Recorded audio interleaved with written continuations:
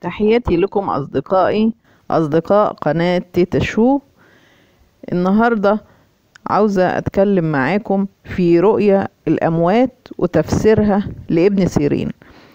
آه، بالنسبة للأموات عندنا حالات كتير ورؤى كتير بتحصل للإنسان وكل رؤية لها تفسير خاص والميت أيا كان آه، قرابته للرائي فبيتوقف تفسير رؤياه على درجة القرابة وعلى الحال اللي هو جه فيها للرائي. عندنا تفسيرات كتيرة عن الأحوال دي وأولها آه، إن الميت إذا عاش في الرؤية فده بيدل على حصول خير وسرور وخصوصا إذا كان هذا الميت يظهر بوجه بشوش وحاله طيب ولبسه جميل أو مهندم. آه، بالنسبة لابن سيرين قال لنا أن من رأى أن والده قد عاش وهو صافي الملبس طلق الوجه فإن ذلك يعني حصول دولة وإقبال وعز ونيل أمال وانتظام أعمال وأشغال. أما من رأى والدته وقد عاشت فهذا يعني للرائي أنه سيحدث له الفرج بعد كل شدة مر بها. ومن رأى امرأته أو زوجته قد عاشت فده بيدل على أن هذا الرائي سيفتقر. وطبعا بالعكس إذا كانت زوجة ورأت زوجها يعاش فإنه حدوث فقر. من رأى أن ولده ولده آه، كان ميتا وقد عاش فإن ذلك يتجاوز عن عدوه. إنه يتجاوز عن عدوه.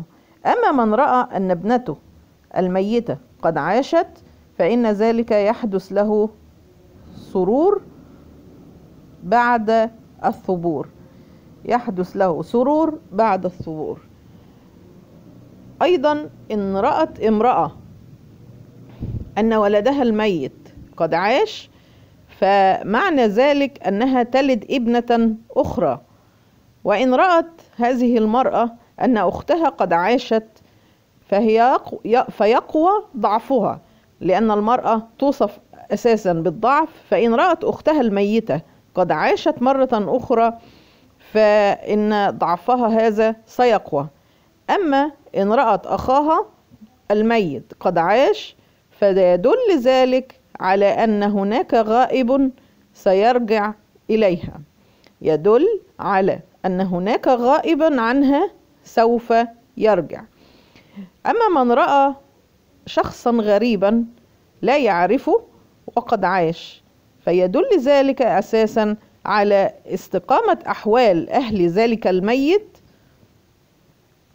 وذلك البيت. يعني إن رأى إنسان ما سواء رجل أو امرأة أن شخصا غريبا لا يعرفه هذا الشخص هو يعرف أنه ميت ورآه في رؤياه أن هذا الشخص عايش مش ميت. فده بيدل على أن هذا الرائي يستقيم حاله وحال أهل بيته جميعا. أما من رأى أحيا ميتا من رأى أنه أحيا ميتا يعني واحد في منامه رأى أنه يحيي ميتا فإنه يسلم على يده كافر. فإنه يسلم على يده كافر.